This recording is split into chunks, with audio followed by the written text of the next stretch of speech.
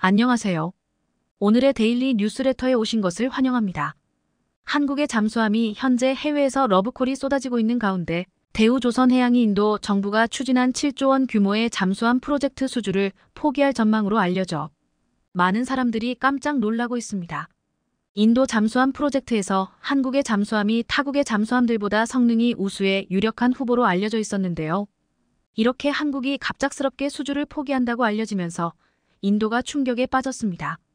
그런데 이 소식을 들은 한국의 많은 네티즌들은 인도 잠수함 사업 수주를 포기한 것이 한국에 굉장히 잘 된 일이라는 의견을 보이고 있는데요. 과연 한국이 7조 원 규모의 인도 잠수함 사업을 포기한 배경은 무엇이고 오히려 한국 네티즌들은 왜 이 소식에 기뻐하고 있는 것인지 실제 반응들까지 자세히 알아보겠습니다. 2015년 1월 프랑스 굴지의 항공기 메이커 다소 데솔트는 인도 정부와 전투기 거래 협상 테이블에서 상대방이 납득할 수 없는 조건을 제시했습니다. 당시 다소는 인도가 요구한 전투기 사양이나 구매 조건과는 동떨어진 엉뚱한 제안을 들고 나왔는데요. 견적서에 제시한 금액도 인도 측 조건의 2배에 달하는 수준이었습니다. 사실상 판을 엎겠다는 뜻이었습니다. 당시 인도는 MMRCA Medium Multi-Role Combat Aircraft 프로그램을 진행해 세계 전투기 메이커 사이에서 큰 손으로 떠올랐습니다. 인도가 사업 공고 당시 밝힌 전투기 도입 규모는 총 126대의 옵션 물량 63대까지 합하면 총 189대의 엄청난 물량에 달하면서 주목을 받았었습니다. 그래서 전 세계 모든 전투기 제조사들이 달려들어 인도 사업을 따내기 위해 혈안이 되어 있었는데요. 결국 프랑스 다소의 라팔이 2011년 최종 승자가 됐습니다. 그런데 우선 협상 대상자 지정 후 인도와 프랑스는 4년 넘게 협상을 질질 끌다 2015년 4월 결국 협상 결렬사업 파기를 선언하고 돌아섰습니다. 다소는 무슨 이유로 이 사업 수주를 걷어찬 것일까요? 협상 테이블에서 비상식적인 조건을 들이밀기 시작한 것은 다름 아닌 인도였습니다.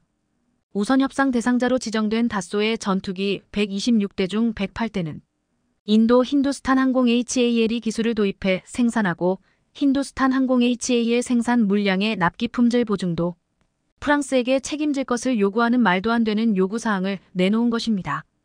HAL은 세계 항공업계에서 악명 높은 인도 국영 항공기 제작사인데요. 이렇다 할 기술력이 없는 데다 사내 부정부패가 극심한 것으로 알려졌습니다. 인도 정부는 이런 전력이 있는 HAL이 생산하고 심지어 인도 현지에서 제작된 부품을 장착한 라팔 기체에 대해서도 다소가 품질을 보증해야 한다고 요구한 것입니다. 그 과정에서 전투기 국산화에 필요한 핵심 기술의 이전도 요구했습니다. 당연히 다소가 판을 엎을 수밖에 없었던 구조인 것입니다. 마찬가지로 이번에 인도 해군이 추진하는 차세대 재래식 잠수함 도입 사업인 P-75I에서도 이와 비슷한 상황이 발생할 우려가 있었습니다.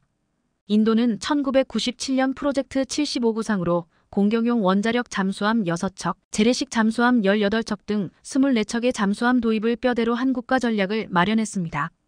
이에 따라 2014년부터 재래식 잠수함 도입 사업 1단계로 프랑스 나발그룹 네이벌 그룹의 스콜페네스 CORPEN 2급 잠수함 6척 기술 도입 사업 형태를 인도에서 건조 중입니다. 대우조선해양이 참여한 것은 해당 사업의 후속 물량 6척 수주전인데요. 인도는 요구사항으로 수중에서 오랜 기간 작전할 수 있는 공기부료 추진 체계 AIP 시스템을 탑재한 잠수함을 요구하고 있습니다. AIP 기술이 탑재된 재래식 잠수함은 물 밖으로 나와 디젤 엔진을 재가동할 필요 없이 동력을 얻어 잠항 기간을 3배가량 늘릴 수 있습니다. 잠수함 6척을 건조하는 비용으로 약 7조 원의 예산을 책정했는데요. 사업 규모가 워낙 크다 보니 세계 유수 잠수함 메이커들이 사업에 모두 참여했습니다. 먼저 1차 사업을 수주한 프랑스 나발그룹이 쇼트핀 바라쿠다, 블로기레이 모델을 제안했고 독일 티센크루프 마린 시스템은 216형, 218형 잠수함을 제시했습니다. 그리고 스페인 나반티아는 자국 해군에 납품한 S80 모델을 러시아 국영무기 수출업체 로소보론엑스포르트는 아무르 1650형 잠수함을 제안했습니다. 그리고 한국의 대우조선해양도 도산안창호급 잠수함을 개량한 DSME 3000 모델을 내놓았는데요. 그러나 프랑스의 잠수함은 척당 건조 비용이 3조 원을 넘어서 가격 경쟁력이 없었고 독일은 216형과 유사한 함정을 건조한 경험이 없어서 발목을 잡혔습니다. 또 스페인은 자국 해군에 인도한 잠수함의 치명적인 설계 결함 문제가 발견돼 수주 가능성이 낮아졌습니다. 그리고 러시아는 중국이 너무나도 많이 카피해간 탓에 인도에게는 그닥 매력이 없어 보였습니다. 이와 같이 다른 후보들의 수주 가능성이 낮아진 가운데 한국의 DSM이 3천은 재래식 잠수함 중 가장 독보적인 성능과 가격으로 인도 정부의 마음을 사로잡았는데요. 그래서 그동안 한국이 인도 잠수함 사업의 최종 승자가 될 가능성이 점쳐졌습니다. DSM이 3000은 다른 모델들과 비교할 수 없는 고성능 제품입니다. 도산 안창호급 잠수함을 통해 검증된 선체, 세계 최고 수준의 리튬이온 배터리 기술을 이용한 AIP 시스템, 경쟁 모델 중 유일한 수직 발사관 모듈을 갖춘 재래식 잠수함계의 명품입니다. 인도는 P-75I 잠수함에 수직 발사관을 탑재해 자국산 브라모스 초음속 대함미사일을 운용할 것을 검토하고 있는데요. 이를 충족할 모델은 SLBM 탑재 설계를 완료한 DSME 3000이 유일합니다. 인도 측이 제시한 척당 1조 원 정도의 가격을 맞추면서 이처럼 높은 사양을 갖추기란 쉽지 않은데 한국이 이를 입증해내면서 전 세계군 전문가들을 놀라게 했는데요. 특히나 최근 한국은 AIP 성능을 기존 대비 30% 극대화시킬 수 있는 디젤 계질 촉매 개발까지 성공하며 원잠을 갖지 못한 국가들에게 최고의 잠수함으로 평가받고 있습니다. 그래서 호주도 원잠을 도입하기 전에 한국 잠수함 구매 추진을 서두르고 있는 것인데요. 그런데 최근 인도 잠수함 사업에 큰 위기가 닥쳤습니다. 인도 정부가 너무 무리한 조건을 내세우면서 하나둘씩 사업을 떠나며 사업 자체가 좌초될 위기에 놓였습니다. 이제 유력한 후보인 한국을 비롯해 남은 후보들도 모두 이 사업을 포기할 것으로 전해지며 인도 잠수함 사업이 전면 취소될 가능성도 점쳐지고 있는데요. 스웨덴의 사부는 전략적 파트너십의 불균형을 이유로 공식 입찰이 나오기도 전에 입찰 거부를 표시했고 프랑스와 독일 회사를 포함하여 경쟁 중인 다른 업체들도 프로젝트에 참여할 수 없다고 밝히며 결국 한국, 러시아, 스페인만 입찰 후보에 남게 됐었는데요. 그러다 경쟁 후보가 모두 빠지면서 한국이 최종 선정될 유력 업체로 거론됐습니다. 그런데 유력한 후보였던 한국도 이 사업을 포기할 것으로 전해지며 인도가 발칵 뒤집혔습니다. 18일 업계에 따르면 대우조선해양은 7조 원 규모에 달하는 인도 잠수함 도입 P75I 건조 사업에 참여하지 않는 방안을 검토하고 있습니다. 프로젝트 사업 재개가 늦어진 데다 사업성이 떨어져 수주가 유력했던 대우조선도 입찰에 불참한다는 것인데요. 대우조선은 인도 잠수함 프로젝트 사업성이 매우 떨어지는 모양이라며 내부 검토를 거쳐 사실상 더 이상 입찰에 참여하지 않을 걸로 보인다고 말했습니다. 특히 문제는 계약 조건과 관련해서 인도가 상당한 기술 이전을 요구했으며 기술 이전에 관한 상세 규정도 구체화되지 않았다는 점이 문제였습니다. 이번 사업은 인도 정부가 추진 중인 Made in India Made in India 인도 제조업 육성 정책 정책에 포함되는 사업으로 해외 협력업체 선정 후 해당 업체가 인도 국내 조선소와 파트너십을 체결하고 인도 현지에서 기술 이전 방식으로 잠수함 6척을 건조하는 순서로 이뤄지게 되는데요. 인도는 이 과정에서 상당한 수준의 부품 국산화를 요구하고 있는데 AIP 등 첨단 기술의 60% 이상을 인도 조선업체에 이전해달라고 주장하고 있습니다. 한국이 도산 안창호급 잠수함 개발 과정에서 구현한 국산화율이 76% 수준인 것을 감안하면 사실상 국내 잠수함 기술을 전부 이전하라는 요구에 가까운데요. 향후 인도가 세계 잠수함 시장에서 한국의 경쟁자가 될 수 있다는 점을 감안하면 쉽게 수용하기 어려운 조건입니다. 게다가 품질 보증에 관한 계약 부분도 면밀히 살펴야 하는데요. 이전에 프랑스에게 갑질을 했던 것처럼 인도는 자국산 부품을 사용해 인도에서 건조하는 인도산 잠수함에 대해서도 오히려 해외 파트너사에게 품질 보증을 요구하고 있다는 것입니다. 게다가 인도 내 건조 일정 지연 시 해외 파트너사에 부과되는 페널티 또한 너무나도 가혹하며 파트너사 입장에서는 책임은 크나 정작 인도 내의 건조 상황에 영향력을 행사할 방법이 거의 없는 것도 문제입니다. 그래서 종합적으로 인도 방위산업의 정밀성, 사업관리 능력 등을 고려하면 한국 조선업체가 감당해야 할 리스크가 지나치게 클 것이라는 우려가 나온 것인데요. 그래서 인도와 긴밀한 관계를 유지하고 있는 러시아 또한 최근 인도 잠수함 사업 입찰에 대해 불참을 선언하며 극적인 수정 없이 프로젝트가 실패할 것이라고 경고했습니다. 러시아는 또 세계의 어떤 해군도 인도가 찾고 있는 종류의 잠수함을 보유하고 있지 않아 잠수함을 처음부터 만들어야 한다고 지적했는데요. 경쟁사인 러시아가 인도 잠수함 프로젝트를 포기한 건 마찬가지로 건조 조건 때문입니다. 또 코로나 때문에 입찰 재개가 늦어지면서 현재는 프로젝트가 거의 멈춰 있는 상태라 사업 재개가 불투명한데요. 해당 사업은 지난 4월 입찰을 시작할 예정이었으나 인도 내 코로나 확산 여파로 지연되다 작업 재개가 늦어졌습니다. 앞서 인도 국방부는 이 사업에 제한 요청할 FP 답변 제출 기한을 12월 말로 연장했으나 이에 응할 업체는 전무할 것으로 보입니다. 한 군사 전문가는 국내 군수업체가 해외에서 아무리 대규모 사업을 수주해도 첨단 군사 기술을 외국 조선업체에 고스란히 넘기는 것은 자살행위라며 마치 첨단 IT 기술을 해외 업체로부터 카피 혹은 해킹한 후 세계 IT 시장에서 저가 공세로 해외 시장을 빼앗아가고 있는 중국이 대표적인 예라고 설명했습니다. 그리고 국내 네티즌들도 이런 무모한 사업은 당장 포기하는 것이 맞다는 의견을 보이고 있습니다. 인도의 조건이 너무 무리였어요. 상당히 걱정하고 있었는데 다행입니다. 정말 독이 든 성배를 피했네요. 항상 이런 계약은 주의해야 합니다. 잘했네요. 인도뿐 아니라 어떤 거래에서도 넘지 말아야 할 선은 있다. 국익을 잃지 않는 합리적 선이 잘 지켜지길. 이건 뭐 찐빵 한 봉지 사면서 레시피, 재료에 속까지 내놓으라 하는 데다. 자기가 직접 만들어 먹다가 식중독에 걸리면 그것까지 책임지라는 식이다. 기술을 날로 먹으려고 하는 국가는 빠르게 손절하는 게 정답입니다. 서로 날로 먹으려고 하는 인도와 프랑스가 힘을 합치는 것이 좋을 것 같다. 이제 한국의 잠수함 기술 수준이면 저런 조건이 아니어도 충분히 수출 가능하다. 오히려 인도가 사업 조건을 다시 바꿔 한국에게 역제안할 것으로 보인다. 인도뿐 아니라 인도네시아를 포함 방산 수출 상담하는 국가들에게 좋은 본보기가 될 듯. 단호함을 보일 때는 정말 단호하게 해야 한다. 이번 일로 인도든 인도네시아든 인도 들어가는 나라랑 뭐 하는 거 아니라는 교훈을 깨달은 것 같다. 등. 등 인도 잠수함 사업 취소에 대해 잘한 일이라는 의견들이 이어지고 있습니다. 핵잠수함 개발의 필수 요소는 잠수함에 장착할 소형. 원자로 기술과 핵연료 확보 두 가지밖에 없습니다. 소형 원자로 제작은 362 사업이 진행된 2004년 한국원자력연구원이 핵잠수함 원자로 기본 설계를 마쳤다는 이야기도 있습니다.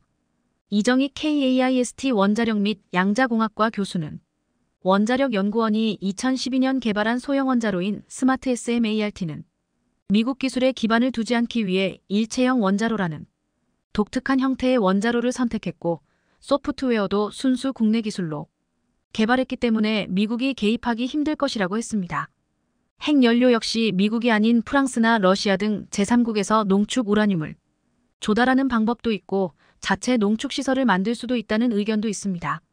우리 기술로 핵잠을 건조하겠다고 해도 미국은 반대하고 있습니다. 이제껏 주장하고 있는 주 한미군이 있는데 왜 핵잠수함이 필요하냐? 는 겁니다.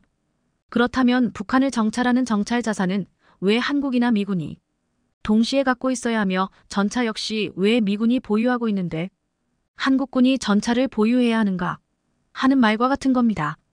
미군이 보유하고 있는 정찰 자산이 부족하고 전차도 부족하기 때문에 한국군도 보유해야 한다고 하면 이는 핵잠도 똑같습니다. 전쟁 난다고 해서 미군 핵잠 10대가 한국군에서 작전을 펼치겠습니까? 아니지 않습니까? 기껏 두 척 정도밖에 안 될 겁니다. 총 64척이 있다고 하지만 정비창에 있는 핵잠을 제외한다면 작전이 가능한 핵잠은 23선인 40여 척밖에 안 됩니다. 기존의 작전에 투입되어 있는 핵잠을 한국전에 투입할 수는 없고 또 미군 핵잠 고장 많지 않습니까? 결국 미국만 믿고 있을 수 없다는 겁니다. 우리가 미국에게 뒤통수 맞은 게 어디 한두 번입니까? 미국은 말로는 한미동맹을 중시한다고 하지만 자국의 이익 앞에는 통맹도 필요 없는 전혀 다른 차원이라고 미국 스스로 말했습니다. 한국을 위해서 뉴욕을 포기하지 않을 한미동맹에 무작정 기댈 수도 없고 그렇다고 미국이 못하게 하는데 통해 없이 추진하는 것도 힘들다면 해답은 외교적 설득밖에 없습니다. 미국이 굳건한 한미동맹을 이유로 우리의 핵잠수함 보유가 필요 없다고 하면서 반대한다면 우리는 역으로 한미동맹 기여를 들어 미국을 설득할 수도 있다는 것입니다. 그러나 유감스럽게도 이런 설득 얘기는 20여 년 전부터 나오던 말로 지금까지 변한 것 하나도 없습니다. 한국은 전범국이 아닌 항상 피해자로 살았습니다. 핵잠을 가져도 핵무기를 가져도 우리가 선제 공격이 아닌 방어용이라는 것을 미국은 압니다. 자재 개발 능력이 있는 한국이 핵잠을 건조할 수 있는 미국은 우리가 핵무기를 사용하지 않는 핵잠 건조를 반대할 명분이 없습니다. 원자력 발전소는 아무런 문제가 없는데 비록 군사적 목적이기는 해도 핵을 탑재하지 않는다면 사실 뜻같은 의미 아닙니까? 핵 확산을 방지하기 위해서 한국이 지금 핵무기를 만들겠다고 했습니까? 아니지 않습니까? 이유를 달기도 하는데 한국과 전범국인 그들과는 다릅니다. 미국은 그동안 한미동맹이라고 했지만 핵자만 들어가면 히스테리적인 발작을 일으키곤 했습니다. 그런 미국의 반응에 결국 한국은 2029년까지 장기적인 계획을 세우게 됩니다. KSS 3장 보고 3, 사업은 2016년부터 2029년 단계별로 진행되고 이에 배치 1부터 배치 3까지 각각 3척씩 총 9척이 건조될 예정입니다. Batch는 동형 함정을 건조하는 묶음 단위를 뜻하는데 Batch I, Batch 2, Batch 3 등으로 진행할수록 함형 발전과 성능 개선이 이뤄짐을 뜻합니다. KSS 3 Batch 2는 여러 기술이 증강되는데 특히 핵심 성능인 잠항 시간을 늘리기 위해 납축 전지가 아닌 리튬이온 전지를 사용하게 되면서 주목을 받고 있습니다. 중 대형 잠수함 중 세계에서 두 번째로 리튬이온 전지를 적용해 수중작전 지속 능력과 고속기동 지속 시간을 늘리겠다는 것입니다. 자, 여기서 우리는 KSS 3 Batch 2가 아닌 Batch 3을 주시할 필요가 있습니다. Batch 2부터 리튬이온 전지를 사용하지만 현재 알려진 바에 따르면 선체를 완전 재설계하지 않으면 리튬 전지 모듈의 효율성이 극대화되지 않는 것으로 알려져 있습니다. 원자력 추진 잠수함은 엔진만 바꾼다고 되지 않습니다. 추진, 동력 전달, 무게 배분, 운용 체계 등 모든 것을 밑바닥부터 새로 설계해야 하고 핵잠 운용을 위한 승조원 교육 체계와 원자로 운영 및 폐기 과정에 필요한 군수 지원 체계까지 거의 새로 시작해야 합니다.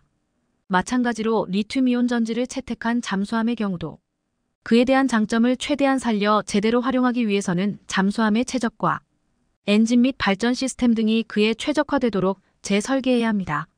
그렇지만 배치 1까지는 재설계 예정 없이 그대로 업그레이드 하는 선에서 탑재가 될 것 같습니다. 따라서 자망 성능은 100%가 아닌 50% 선에서 향상되는 것으로 봅니다. 세계 최초로 리튬이온 전지를 탑재한 일본의 오류함의 예를 들자면 그렇습니다. 지금까지 이 체계에 대해 알려져 있는 것은 별로 많지 않지만 좀 더 자세하게 설명하자면 전기 에너지를 기존의 납산 전지가 아닌 리튬이온 전지에 저장한다는 것입니다. 오랫동안 재래식 잠수함의 동력원으로 쓰이고 있는 납산 lead acid 배터리, 즉 차에 장착되어 있는 크고 무거운 배터리와 동일한 그 배터리 대신에 리튬이온 전지를 이용하겠다는 겁니다. 스마트폰이나 전기차에도 쓰이고 있는 리튬이온 전지는 에너지 밀도가 더 높고 같은 크기의 납산 전지보다 더 많은 잠재적 전력을 저장할 수 있습니다. 공간이 한정되어 있는 잠수함에 있어서 리튬이온 전지. 이러한 특성은 매우 중요한 이점이 됩니다. 더구나 리튬이온 전지는 납산 전지보다 더 빠르게 충전할 수 있습니다. 리튬이온 전지로 추진하는 체계의 가장 큰 장점은 기존 납산 전지와 비교해 볼 때 중량당 에너지 밀도가 3배 이상 높은 점입니다. 3배 이상 높다면 3배 이상의 속도와 3배 이상의 잠항 기간이 가능하다는 얘기입니다. 기존의 공기불요 추진 체계 AIP 시스템에 부족한 점을 모두 상쇄할 수 있다는 것입니다. 디젤 잠수함은 전기를 다 사용하기 전 수면 위로 부상해서 디젤 엔진을 가동해 배터리를 충전시켜야 합니다. 이 작업을 스노클링이라고 하는데 수면 가까이 부상해야 하는 데다가 디젤 엔진 가동에 필요한 산소를 공급받고 배출되는 탄소를 방출하기 위해 굴뚝을 수면 위로 드러내야 하며 충전을 위해 디젤 엔진을 가동하는데 이때 소음과 매연을 발생시키기 때문에 적에게 탐지되기 쉽습니다. 따라서 대기 시간을 줄여주는 빠른 충전은 작전 수행에 매우 요긴한 기능이고 소음 억제라는 측면에서도 이전 잠수함들보다 훨씬 더 뛰어난 능력을 보유하고 있습니다. 핵잠의 가장 큰 특징은 바로 원자력으로 얻어지는 무한에 가까운 에너지 덕분에 매우 오랫동안 연료 재보급 없이 최대 30년 동안 작전을 수행할 수 있다는 점입니다. 그렇지만 가동만 그렇지 실제 작전에서는 9만 110일 정도를 일주기로 운용하고 있습니다. 식량 등 보급품 등이 무한정이 아닌데다가 좁은 공간에 갇혀서 임무 수행을 해야 하는 승조원들의 피로도를 고려해 볼 때 비상시가 아닌 이상 세 달 이상의 임무 수행은 무리라는 뜻입니다. 자, 그렇다면 리튬이온 전지에 더해 전고체올 살러드 리튬이온 전지를 탑재하게 되면 성능이 핵잠과 비슷한 성능을 지니게 됩니다. 배수량 4영톤 정도의 잠수함을 기준으로 오노투구 2.25kmh 속도로 한다면 수중항해를이 94시간 87일 유지할 수 있고 전투 속도인 15노트 27.75kmh 수준의 항해 시간을 무려 90시간이나 유지할 수 있습니다. 뿐만 아니라 핵잠과 같은 20노트 36.4kmh의 최고 속도를 무려 30시간 넘게 유지할 수 있기 때문에 그 부분에서는 원자력 잠수함과 큰 차이가 없다는 것입니다. 재충전을 위해서는 수면 가까이 떠올라 스노클링을 해야 한다는 문제점은 여전하지만 핵잠 건조가 여의치 않을 때 생각해 볼 수 있는 충분한 대안이 될 수 있습니다. 한국은 이 점을 생각하고 있는 것입니다. 2차 배터리나 전고체 배터리, 또 수소연료 전지가 가장 앞서 있는 나라는 한국입니다. 따라서 4천 1000톤급 배치 3를 기준으로 2030년 초반 정도가 되면 전고체 배터리 개발로 또는 수소연료 전지를 이용해 핵잠과 대등한 성능을 확보할 수 있을 것으로 보고 있습니다. 방사능의 위험성이 없고 정치적 문제에 얽힐 가능성이 없으면서 기술적 난이도와 가격이 핵잠에 비해 낮고 친환경적이고 소형화가 쉽습니다. 정지시에도 냉각 펌프 등의 구동 소음이 끊임없이 발생하는 핵잠과 달리 배터리를 이용한 소음원이 없어 운용하기에 따라서는 매복 공격에 최적으로 꼽힙니다. 게다가 배터리 기술의 강점과 세계 최고의 건조 기술을 보유하고 있고 한국산 부품과 기술만으로 건조할 수 있어 수출 품목으로 아주 좋은 위치를 차지할 수 있습니다. 리튬이온 전지를 세계 최초로 먼저 채택한 일본이지만 한국이라는 복명을 만나 가격 때문에 수출이 어렵습니다. 핵잠에 못지않는 전고체 배터리를 탑재한 잠수함이 한국이 선보이게 될 때 미국을 비롯한 유럽 잠수함 강국들도 성능과 기술, 가격을 겸비한 한국에 고개를 숙일 수밖에 없을 겁니다. 현재 KF-21 전투기가 마침내 156차 비행을 성공적으로 끝마친 가운데 최근 중국 정부의 전폭적인 지원을 받고 있는 CCTV에서 기획한 주변국들의 무기 분석에 관한 특집 방송이 큰 화제가 되고 있습니다. 이 방송에서는 중국 전투기와 한국, 인도, 일본 등 주변국의 주요 전투기들의 화력, 항전 장비 성능 등을 비교 분석하며 실전 배치를 기준으로 시뮬레이션을 돌려본 결과 종합적인 점수에서 중국의 제231 전투기와 KF-21 전투기가 우수한 점수를 받았다고 밝혔습니다. 이를 전한 중국의 국방 전문가 저우보는 KF-21 전투기는 최근 이례적으로 빠른 속도로 개발되고 있으며 벌써 무장 비행 시험을 시작한 것은 혁신에 가깝다고 평가했습니다. 또한 그는 한국의 KF-21이 조만간 중국의 전투기를 제치고 세계 시장에서 두각을 나타낼 것이라고 전망했습니다. 저우보 전문가는 전 인민해방군 대령이며 현재 베이징 칭화대학의 국제관계학 교수로 평판이 높은 인물입니다. 그래서 특집 방송에서 갑자기 한국 무기에 주목하며 칭찬을 한 것이 정말 낯설기만 한데요. 그러면서 중국 전문가는 한국 무기가 현재 전 세계적으로 러브콜을 받고 있는 게 현실이라는 점을 강조했습니다. 한편 이 소식에 중국 현지에서는 놀라움과 함께 한국에 대한 인식이 바뀌고 있는 것으로 보입니다. 중국 국민들 사이에서는 한국 국방력에 대한 소식은 많아봤자 1년에 몇 번 안 하던 CCTV가 갑자기 KF-21 전투기의 무장시험이 끝나자마자 특집 방송을 편성해서 한국 무기에 주목할 정도인가? 라는 반응이 나오고 있습니다. 때문에 중국의 한 인터넷 포털 사이트에서는 이와 관련해 뜨거운 토론이 벌어지고 있다고 합니다. 일부 네티즌들은 우리가 경시하던 한국의 군사력이 이 정도였나? 라며 놀라움을 표현하는 반면 다른 이들은 중국도 빨리 개발 속도를 올려야 한다는 목소리가 높아지고 있습니다. 특히 이번 방송을 계기로 중국의 국방 및 항공우주 산업에 대한 비판의 목소리도 커지고 있는 상황입니다. 일부 전문가들은 한국의 KF-21 전투기의 성공적인 개발로 인해 중국의 국방 및 항공우주 산업도 좀 더 혁신적인 접근이 필요하다고 지적하며 중국 정부와 기업들이 이를 계기로 연구 개발에 더 많은 투자와 인력을 쏟아부어야 할 것이라고 강조했습니다. 또한 이러한 발언들은 중국 정부와 국방 산업에 충격을 주고 있으며 국내외 경쟁력 향상을 위한 새로운 전략을 수립할 필요성을 부각시키고 있습니다. 일부 중국 국방 전문가들도 한국의 KF-21이 이렇게 빠르게 개발되고 있다면 중국도 그에 맞춰 발 빠르게 대응해야 한다고 염려했습니다. 한편 이번 CCTV 특집 방송은 한국에서도 큰 관심을 받고 있습니다. 한국 네티즌들은 중국에서 방영된 이러한 특집 방송에 대해 놀랍다는 반응과 함께 큰 자부심을 느끼면서 KF-21 전투기 프로젝트의 성공적인 진행을 기원하는 응원의 메시지를 보냈습니다. 결론적으로 중국의 국방 전문가들의 놀라운 발언으로 인해 중국 내에서 KF-21 전투기에 대한 관심이 더욱 커지고 있으며 이를 통해 중국의 방산 산업과 국제 경쟁력 향상의 중요성을 한층 더 부각시킬 것으로 예상됩니다.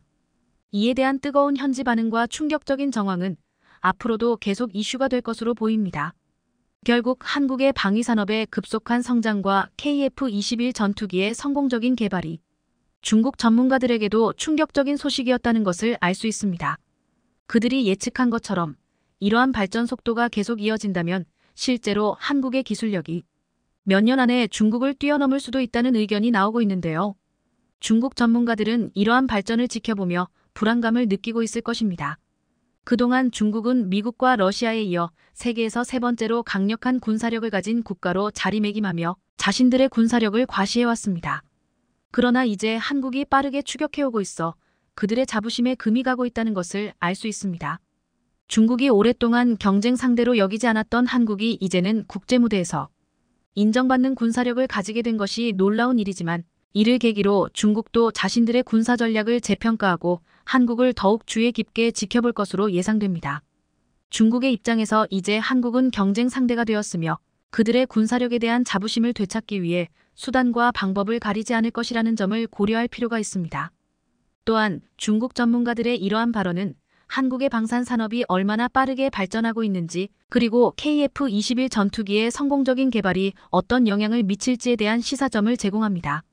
결국 중국 전문가의 발언을 분석해보면 이것이 한국의 방산 산업과 군사력에 대한 인정을 받게 된 계기가 되었으며 한편으로는 중국과의 군사 경쟁을 더욱 격화시킬 수 있다는 것을 보여줍니다. 이는 국가 간 군사 경쟁이 어떻게 전개될지에 대한 시사점을 제공합니다. 이를 통해 한국은 더욱 발전하는 방향으로 나아가며 국제 정세 변화에 발맞추어 안보와 국익을 동시에 지키는 전략을 세울 수 있을 것으로 기대됩니다. 이러한 발전과 성장을 인지한 다른 나라들도 한국의 기술에 관심을 보이고 있는데요. 폴란드의 국방 조달을 담당하는 군비그룹 PGG가 KAI의 최신의 KF-21 보람의 전투기의 도입을 위한 협력 가능성에 대해 문의했다고 합니다. PGG는 현재 KAI와 협력하여 FA-50 파이팅 이글 전투기에 FA-50PL 블록 20을 표준으로 하려는 국유화 작업이 진행 중에 있습니다. 그래서 KAI와의 협력을 위해 이야기가 오가고 있느냐는 기자의 질문에 PGZ 측은 향후 KF-21 보라매의 개발 및 생산 분야에서 산업 협력의 가능성이 있으며 매우 건설적인 파트너로 KAI가 될 것입니다. 라고 말했습니다.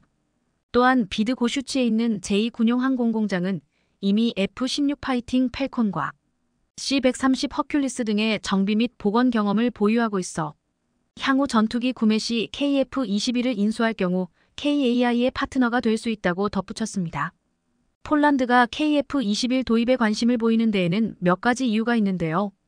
두 국가 간의 관계는 FA-50 전투기와 함께 수백 대의 탱크, 곡사포, 다연장 로켓포 구매를 포함한 방산 협력 계획으로 사상 최고조에 달하고 있습니다. 둘째는 폴란드 공장에서 KF-21의 부품을 생산하거나 조립할 수 있다는 점은 록히드 마틴이 폴란드의 F-16 또는 F-35 조달과 연계하여 제공할 수 있는 강점으로 꼽히고 있습니다. 현재 폴란드 공군은 F-16CD 블록 52 48대의 업그레이드 및 교체가 필요하기 때문에 최신 전투기가 부족한데요. 폴란드 국방부는 록히드 마틴 F-35 제트기 32대를 인도하는 계약을 체결했지만 이 항공기는 폴란드의 미그 29를 대체할 뿐입니다.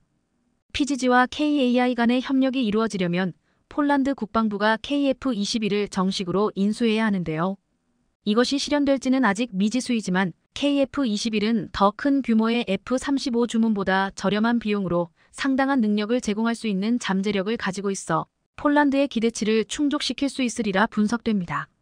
그래서 KF-21 자체 개발에 완벽하게 성공한다면 대한민국의 자주 국방과 해외 수출 성적을 동시에 달성하게 될 텐데요. 과연 폴란드가 한국으로부터 KF-21 보라매를 구매할 다크호스가 될 수 있을지 기대가 모이고 있습니다. 대한민국 FA-50의 비행운이 뻗쳐나가길 바라겠습니다. 우리 KF-21 보라매가 AESA 레이더를 탑재한 이후 본격적으로 시험 비행을 시작하면서 폴란드 정부의 관심도가 달라지고 있습니다.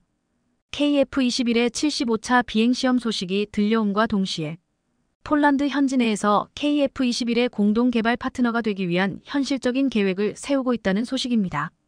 이 소식을 접한 네티즌들은 드디어 인도네시아 대신 폴란드로 바꿀 수 있을 만한 움직임이 시작되었다며 반기고 있습니다.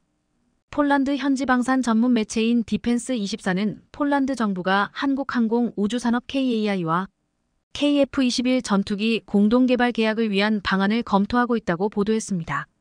그리고 그 중심에는 폴란드의 31개 방산업체를 산하에 두고 있는 PGG 회장이 있는 것으로 알려졌습니다. 폴란드 방산업체 수장인 PGG 회장은 KF-21PL의 폴란드 버전에 대한 열망을 표명하며 긍정적인 반응을 보였습니다. 지난해 그는 폴란드가 KF-21의 일부 구성품을 생산하거나 공동 개발할 수 있도록 한국 측에 요청할 것이라고 밝혔는데요. POLSAT 누주와의 인터뷰에서 KF-21 프로젝트에 참여할 수 있으면 기쁠 것이며 한국 측이 새로운 세대 전투기 연구개발 사업에 폴란드가 일정 부분 책임을 맡도록 한다면 영광일 것이라고 말했을 정도로 KF-21 전투기 공동개발 참여에 누구보다 간절히 원하고 있습니다. 그리고 이를 위해 폴란드 정부는 KF-21 공동개발에 국방 예산이 아닌 별도의 군사자금 프로그램을 준비하고 있다고 하는데요. 정확한 금액을 아직 알려지지 않았지만 인도네시아를 밀어낼 정도의 금액으로 예상되고 있어서 공동개발 파트너인 인도네시아를 쫓아내고 폴란드가 합류할 가능성이 현실로 이뤄질 것으로 보입니다. 이러한 정부 계획에 폴란드 정치권 또한 잠재적인 계약에 대해 긍정적인 반응을 보이고 있는데요. 그도 그럴 것이 폴란드에서 KF-21PL을 개발하게 되면 생산시설이 폴란드에 세워져 일자리 창출과 경제 성장에 박차를 가할 가능성이 높기 때문입니다. KF-21 전투기는 이미 아시아 태평양 지역의 여러 국가에서 관심을 받고 있으며 폴란드와의 잠재적인 파트너십은 유럽의 새로운 시장에 문을 열 수 있습니다. 또한 폴란드의 공군 현대화를 위해 KF-21 전투기에 대한 관심은 다른 EU 회원국의 전투기를 홍보하는 데 사용될 수도 있습니다. 폴란드의 유럽연합 회원국 지위를 활용해 KF-21 전투기를 주변 유럽 국가에 홍보 및 판매를 적극 추진할 수 있는 위치입니다. 폴란드는 동유럽의 관문으로서 전략적 위치에 있으며 NATO에 가입되어 있어 첨단 방위 기술 개발을 위해 함께한다면 매력적인 파트너입니다. 이 공동 개발 프로젝트가 성공하면 폴란드는 잠재적으로 유럽 항공 우주 산업의 핵심 플레이어로 자리 잡을 수 있는데요. 한국이 개발한 KF-21이 5세대 전투기가 가능한 첨단 항전 장비와 무기 체계를 갖추고 있기 때문입니다. 폴란드 정부는 앞서 F-35 전투기 도입에 관심을 표명했지만 높은 비용과 기술 이전 한계에 대한 우려가 제기되어 오고 있습니다. 그래서 KAI와 KF-21 전투기의 공동 개발은 폴란드의 방위 수요를 충족시킬 뿐만 아니라 국내 방위 산업을 활성화하는 대안 솔루션을 제공할 수 있습니다. 결론적으로 KF-21 전투기의 공동 개발을 위한 폴란드와 KAI의 잠재적인 파트너십은 양 당사자에게 흥미로운 기회를 제공할 것입니다. 이 잠재적인 파트너십은 폴란드 공군에 첨단 무기를 제공하는 동시에 폴란드의 국내 방위 산업을 한층 더 강화할 것으로 예상됩니다. 이로써 폴란드는 유럽 항공우주 산업의 핵심 플레이어로 자리매김할 수 있고 KAI는 유럽으로 시장 범위를 확장할 수 있는 것이죠. 이것은 우리에게 잠재적으로 첨단 방위 기술 개발에서 더 많은 국제 협력을 위한 길을 열 수 있는 해결책이 될 것입니다. 게다가 폴란드 현재 매체에 따르면 폴란드 방산업체 PGG 회장이 방안을 위해 관계자와 조종사를 소집하고 있다고 합니다. 그는 회사의 국제 파트너십을 확장하는데 관심이 있는 것으로 알려져 있으며 이번 방문은 잠재적으로 그 목표를 향한 한 걸음이 될 수 있을 것으로 보입니다. 이에 회사 고위 관계자와 기술 전문 지식을 제공할 것으로 예상되는 경험이 풍부한 조종사를 동반할 것으로 알려졌습니다. 현재 FA50 교육을 위해 폴란드 조종사들이 한국에 있는 상황이라 더욱더 긴밀한 협력이 가능해질 것으로 보입니다. 그는 지난달 현지 인터뷰에서 폴란드 국기가 달린 KF-21 전투기를 날리고 싶다는 의사를 표명했는데요. 그의 공동 개발 의지와 정부의 군사자금 프로그램 때문에 방안 시 구체적인 논의가 이루어질 것으로 보입니다. 또한 PGG 회장은 방한단을 이끌고 KF-21 전투기의 시험 비행 참관까지 원한다고 합니다. 그래서 아마도 4차 산업기술로 손꼽히는 KF-21 조종성 평가 시뮬레이터인 HQS에 탑승할 가능성도 높아 보입니다.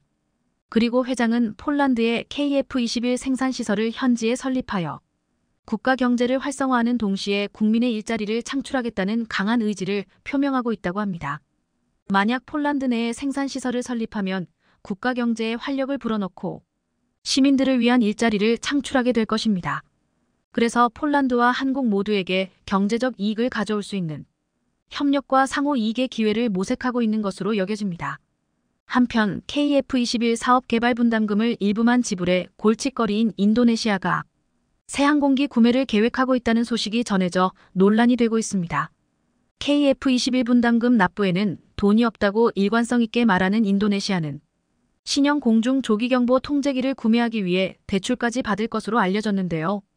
인도네시아 재무부는 외국 대출 기관으로부터 돈을 빌려 두 대의 신형 공중 조기경보 통제기를 구매하는 계획에 승인했다고 합니다.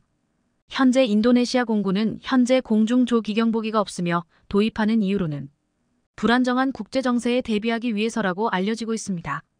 이를 위해 인도네시아 재무부가 승인한 대출 프로그램은 8억 달러, 하나로 약 1조 원이며 이는 두 대의 조기 경보기 값이라고 합니다. 인도네시아 정부는 KF-21 전투기 사업 분담금은 이미 잊어버렸나 봅니다.